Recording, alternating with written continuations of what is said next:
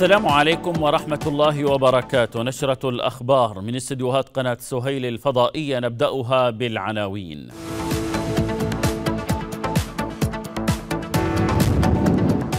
الرئيس العليمي يؤكد أن تداعيات الحرب والعدوان الحوثي يثقل كاهل اليمن على مختلف المستويات.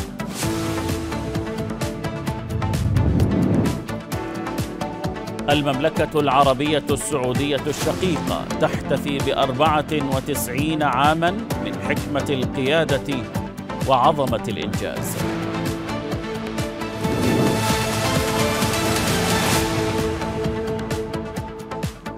أستهل النشر بسم الله الرحمن الرحيم.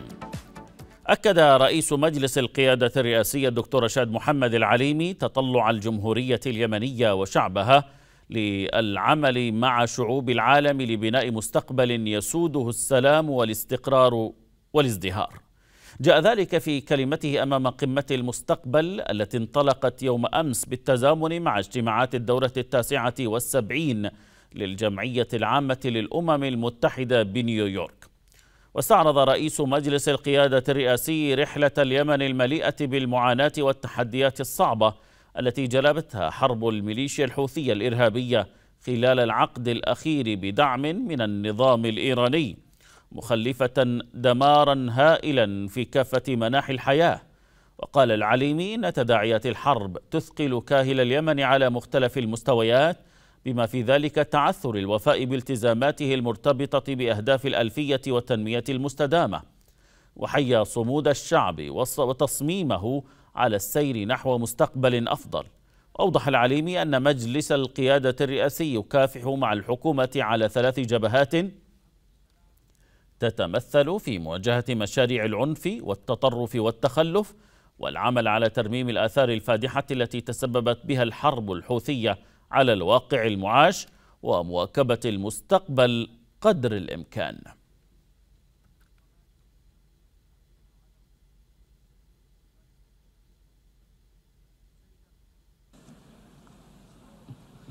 بسم الله الرحمن الرحيم. أصحاب الجلالة والفخامة والسمو أصحاب المعالي والسعادة الحضور الكرام إنها فرصة ثمينة أن نتحدث إليكم اليوم في هذا الحدث الهام الذي نجدد فيه معا التزامنا المشترك بمبادئ التضامن العالمي والاحترام المتبادل والتعاون الوثيق وهي المبادئ التي تأسست عليها هذه المنظمة. السيدات والسادة لقد كانت رحلة اليمن خلال العقد الأخير مليئة بالمعاناة والتحديات الصعبة التي جلبتها حرب الميليشيات الحوثية الإرهابية المدعومة من النظام الإيراني مخلفة دمارا هائلا في كافة مناحي الحياة. لذلك فإن أولوياتنا قد تبدو مختلفة عن أجندة معظم بلدانكم خصوصا تلك التي تنعم بالسلام والاستقرار لكن تطلعاتنا واحدة نحو المستقبل الواعد الذي تستحقه شعوبنا جميعا. اليمن هو اليوم أحد أكبر الأزمات الإنسانية في العالم وتثقله تداعيات الحرب على مختلف المستويات بما في ذلك تعثر الوفاء بالتزاماته المرتبطة بأهداف الألفية والتنمية المستدامة. لكن وعلى الرغم من تلك التحديات الهائلة يبقى صمود وتصميم الشعب اليمني قويا وثابتا في السعي نحو مستقبل أفضل. ويعود جزء من أسباب هذا الصمود إلى صمود شعبنا نساء ورجالا في مواجهة تلك الميليشيات وإلى الدعم المستمر الذي تتلقاه الحكومة اليمنية من دول تحالف دعم الشرعية بقيادة المملكة العربية السعودية ودولة الإمارات العربية المتحدة وشركائها الإقليميين والدوليين والمنظمات التمويلية المعنية وعلى وجه الخصوص الصندوق والبنك الدوليين. السيد الرئيس السيدات والسادة من وسط هذه الصعاب والملمات أود أن أشارككم خبرا سارا شهده بلدنا مؤخرا حيث تكللت جهودنا بالنجاح في التعاقد مع شركة ستارلينك العالمية لتقديم خدمة الإنترنت الفضائي لمواطنينا ليصبح اليمن من الدول الرائدة في المنطقة بالتعامل مع هذه الخدمة التي نراهن عليها في تعزيز تبادل المعلومات والمعرفة وتمكين الفتيات والفتيان من الالتحاق بالتعليم عن بعد وحمايتهم من استقطاب جماعات العنف والتنظيمات المتطرفة. وقد رأيت مشاركتكم هذا الحدث لنؤكد لكم قوة إرادتنا على مقاومة ظروف الحرب وصناعة الأمل حيث نكافح مع الحكومة على ثلاث جبهات اولا نواجه مشاريع العنف والتطرف والتخلف القادم من الماضي وثانيا نعمل على ترميم الآثار الفادحة التي تسببت بها الحرب على واقعنا المعاش. وثالثا نسعى إلى مواكبة المستقبل قدر الإمكان لأننا نؤمن بأن الأجيال التي ولدت في ظروف الصراع سيكون من حقها أن تكبر مع فرص أفضل للسلام والازدهار والتنمية. إننا اليوم نشارك في قمة المستقبل ولدينا طموحات لإثبات أنه بدعمكم وتشجيعكم يمكن للدول التي تعيش حروبا وهشاشة مؤسسية مواكبة التقدم العالمي. طالما توافرت الإرادة والتفكير الخلاق من أجل اللحاق بالركب. ومن جانبنا يعمل مجلس القيادة الرئاسي مع الحكومة منذ عامين على مواكبة أجندة قمة المستقبل سواء على صعيد تعزيز دور المعادل التكنولوجي في البلاد كحق من حقوق الإنسان أو من خلال تمكين المرأة والشباب الذين أطلقنا من أجلهم برنامجا طموحا لتطوير القدرات في العاصمة المؤقتة عدن كما عقدنا في مدينة تعز مؤتمرا موسعا في هذا السياق. وعلى الرغم من وطأة الحرب تجسد نكبة الحادي والعشرين من سبتمبر منظومة متكاملة من جرائم الحرب والجرائم ضد الإنسانية. وأقصى ما يمكن أن يصل إليه الإرهاب الطائفي السلالي الإمامي من فظائع وشرور بحق المجتمعات البشرية. نتابع. أكثر من ثلث سكان اليمن ليس بوسعهم تدبير وجبة واحدة من قوت يومهم وغالبيتهم في مناطق سيطرة الحوثيين. ويعاني الملايين في المحافظات المحتلة حوثيا من انعدام الأمن الغذائي وفرص العمل والدخل. بينما مئات الآلاف من موظفي القطاع العام تنهب الميليشيا للسنة التاسعة مرتباتهم بينما يتهدد شبح الإفلاس شركات القطاع الخاص والعام والمختلط والبنوك التجارية ووكالات الاستيراد وكل مراكز البيع والشراء في السوق المحلية. وازدهرت في سنوات النكبة الأسواق السوداء التي تشتر عبرها ميليشيا الحوثي بالأزمات المفتعلة في الوقود والغذاء.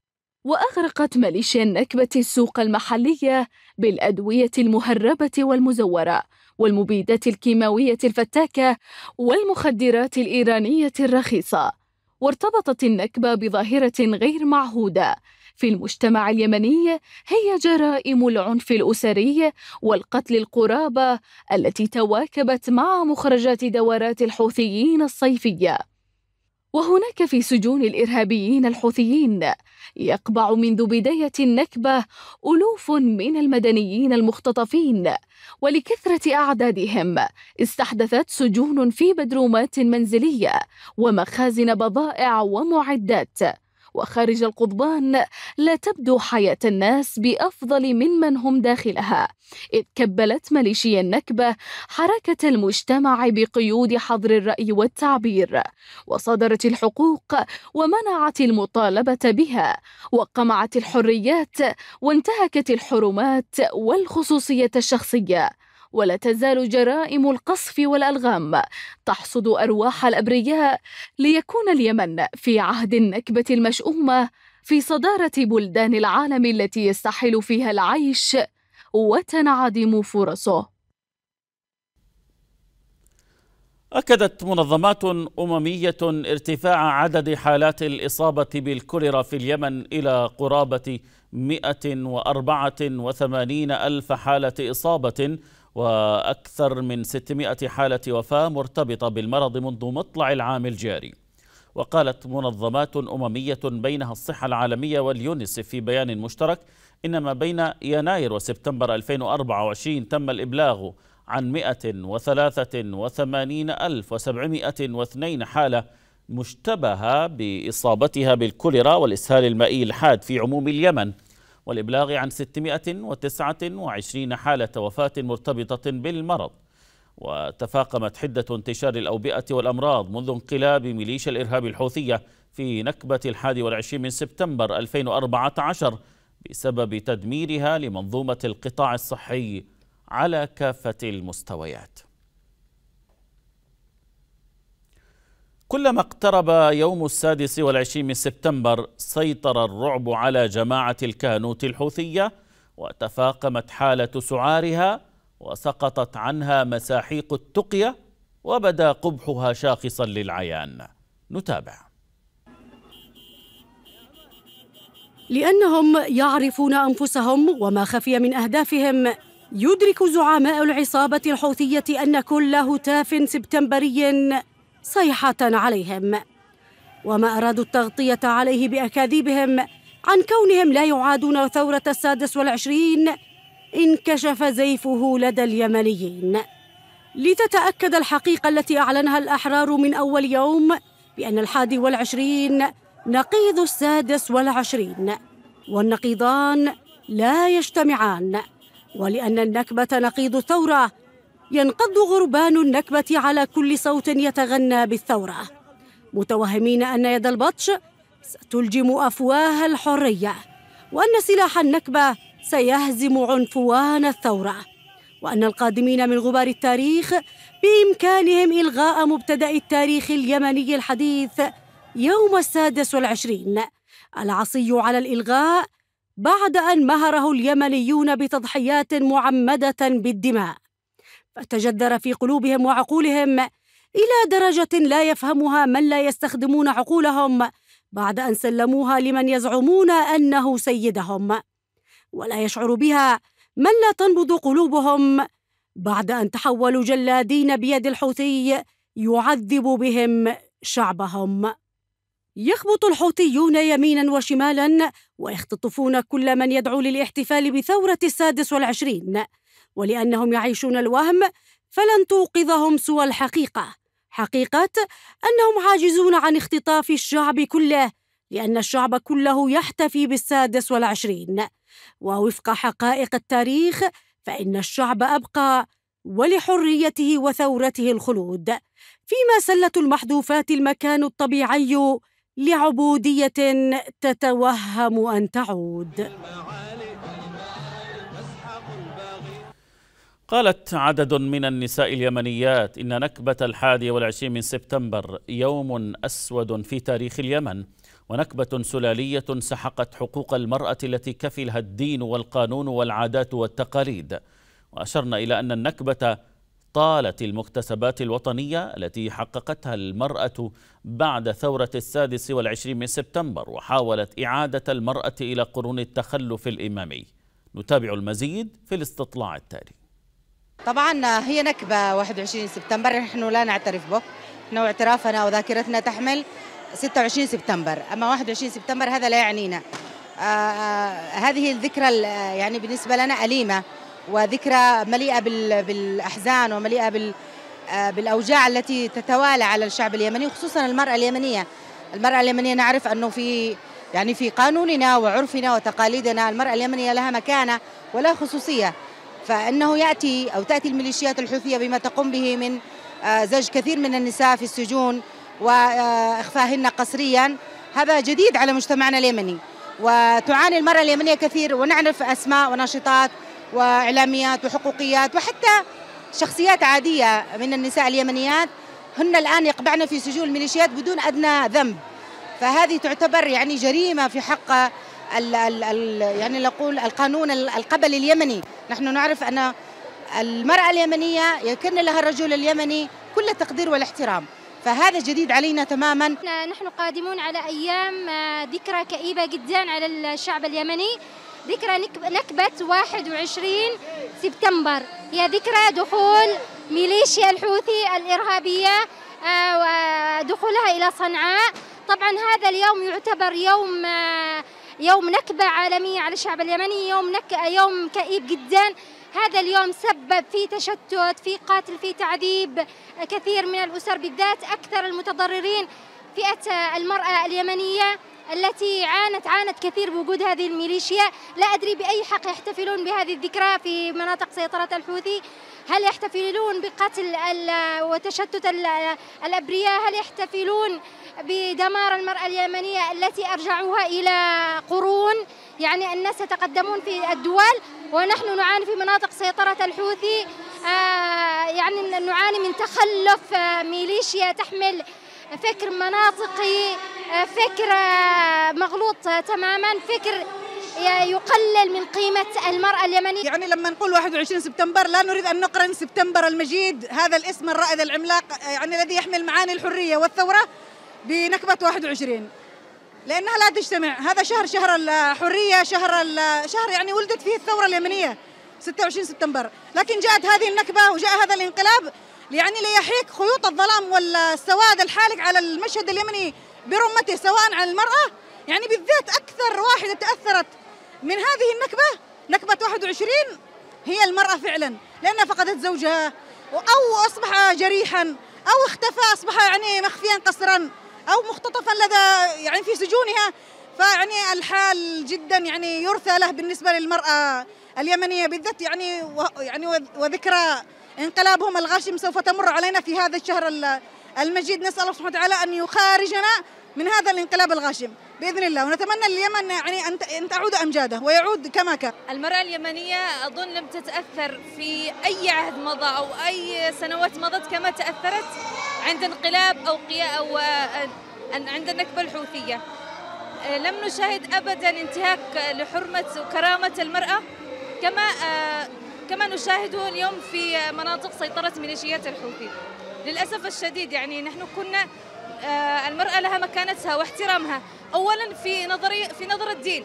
ثانيا آه، عاداتنا وتقاليدنا اليمنية. لكن نشاهد اليوم أن اليمن آه، الميليشيا الحوثية نسفت كل هذه القيم وحتى كل الشرائع الدينية التي تحدد تحدد التعامل مع المرأة والرأفة بها. نحن نشاهد اليوم المرأة تضرب وتهان تسجن تعذب.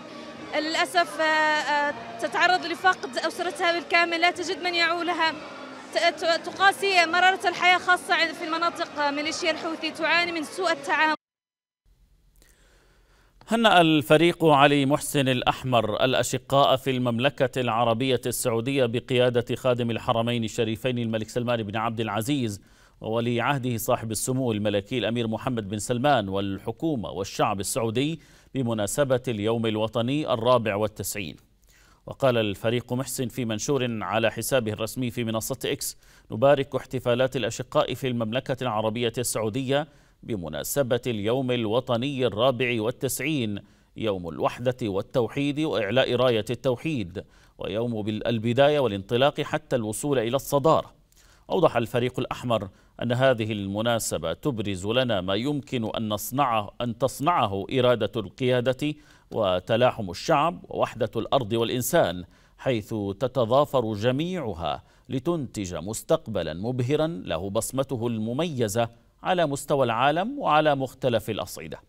وأضاف كل عام وأرض الحرمين في خير وكل عام والمملكة نعم السند لبلدنا وشعبنا اليمني وأمتنا العربية والإسلامية. في يومها الوطني الرابع والتسعين تمضي المملكة العربية السعودية بخطى واثقة قدما على مختلف الأصعدة.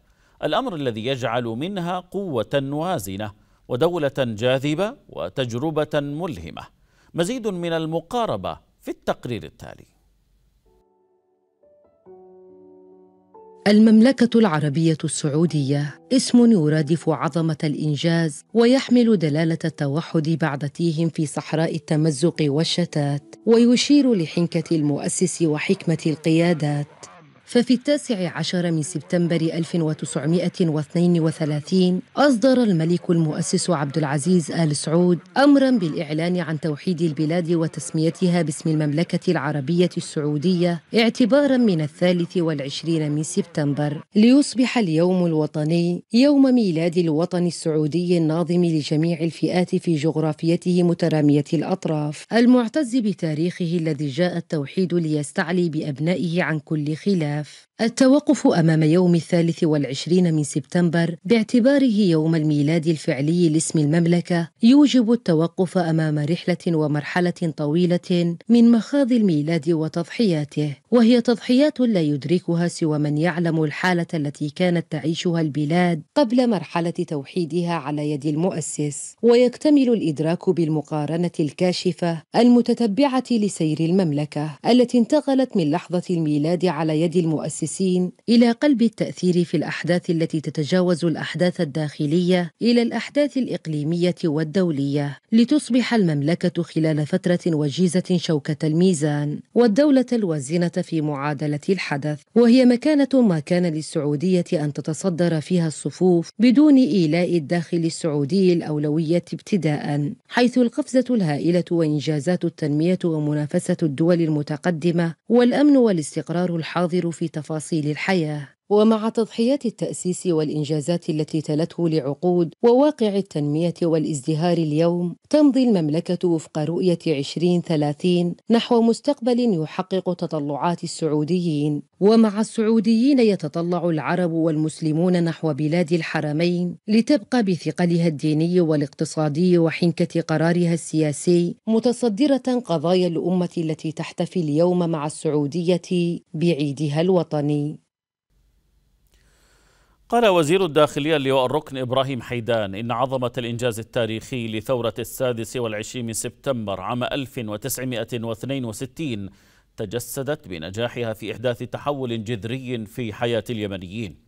أوضح وزير الداخلية في حديث لوكالة سبأ أن ثورة السادس والعشرين من سبتمبر الخالدة مثلت ميلادا جديدا لليمن واليمنيين ونقلت الشعب من الظلام والتخلف والجهل والاستبداد والطغيان والعنصرية والطبقية إلى النور والحرية والتعليم والتقدم والتنمية والازدهار والمواساة والمساواة والتعددية السياسية. أشار وزير الداخلية إلى أن الانقلاب الحوثي سار على خطى الإمامة في تعطيل الحياة وحرمان الشعب من حقوقه ونهب وسرقة إيرادات الدولة ومقدراتها العسكرية والاقتصادية وتفجير الحروب ضد أبناء الشعب اليمني ونشر الفوضى والدمار والتحالف والتخلف والتنسيق مع الجماعات المتطرفة وعصابات ومافيا التهريب الإيرانية لإغراق اليمن والمنطقة بالحشيش والمخدرات وتهريب الأسلحة. وشدد وزير الداخلية على دور الأجهزة الأمنية في حماية إرث الثورة المجيدة ومكتسبات الجمهورية ومواجهة مخططات الإرهاب الحوثي.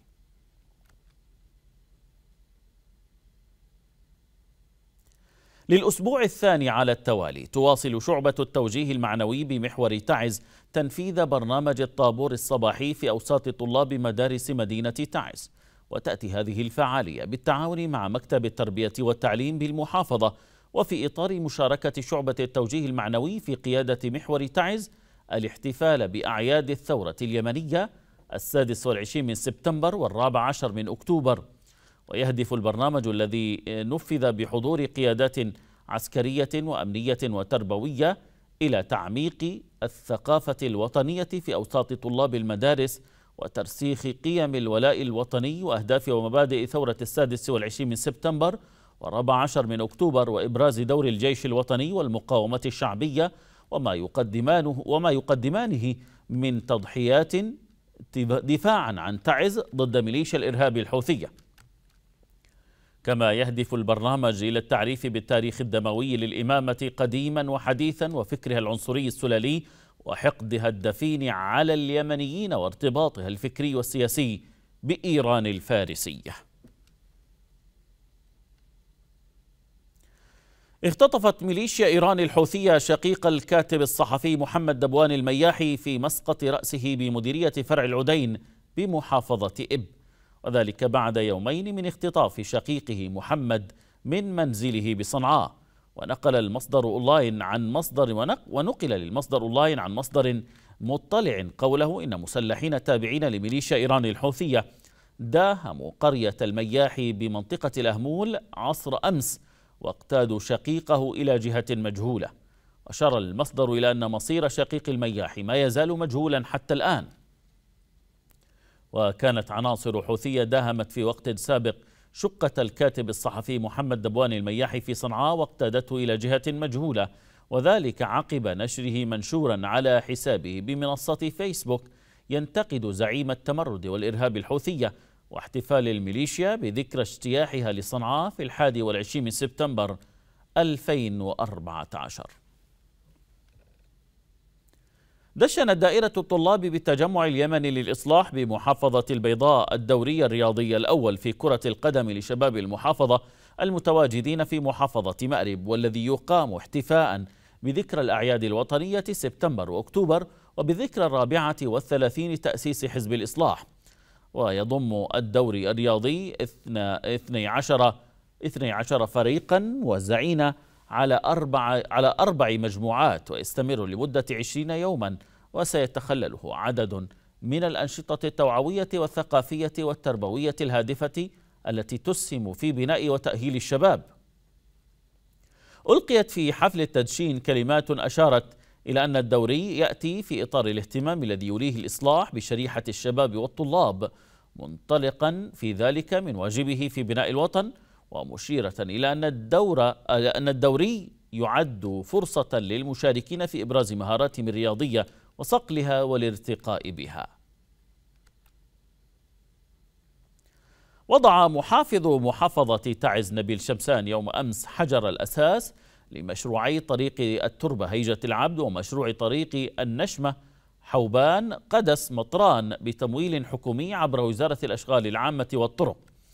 وقال المحافظ شمسان إن هذه المشاريع تعد ثمرة لزيارة رئيس مجلس القيادة الرئاسية الدكتور رشاد محمد العليمي وتوجيهاته بتنفيذه بتنفيذها ابتداء من طريق تعز التربة وصولا إلى هيجة العبد مشيرا إلى أن هناك عدد من المشاريع سيتم تنفيذها في مجال الطرقات ومختلف مجالات التنمية.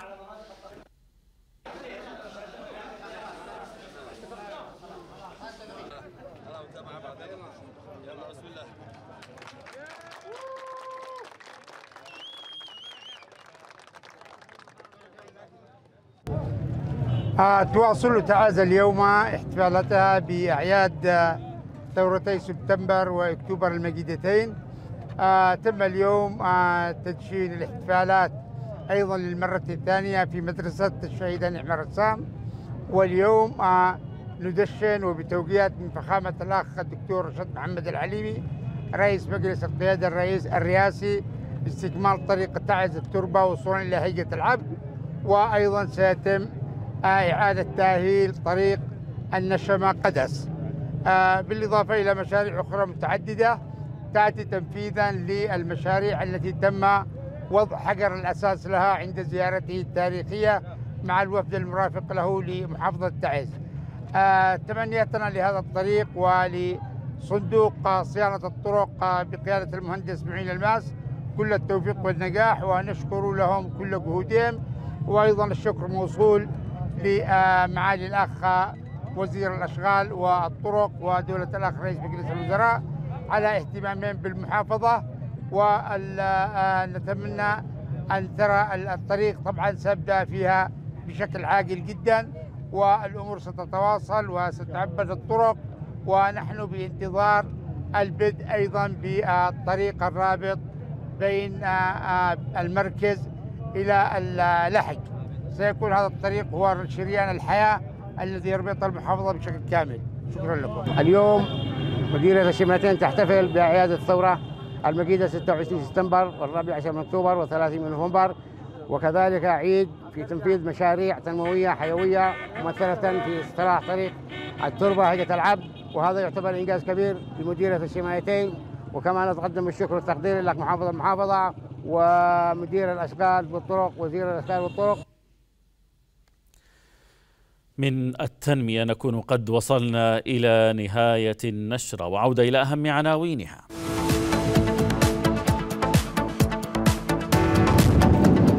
الرئيس العليمي يؤكد أن تداعيات الحرب والعدوان الحوثي يثقل كاهل اليمن على مختلف المستويات.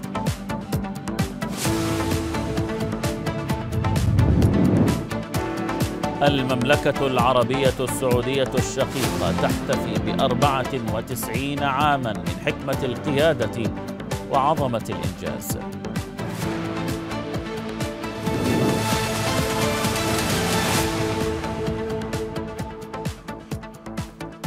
للمزيد يمكنكم متابعة موقعنا على الإنترنت سهيل دوت نت وعلى صفحاتنا في مواقع التواصل الاجتماعي الفيسبوك وتويتر. ومنصة إكس واليوتيوب والتليجرام وعلى قناة سهيل في الواتساب. في أمان الله.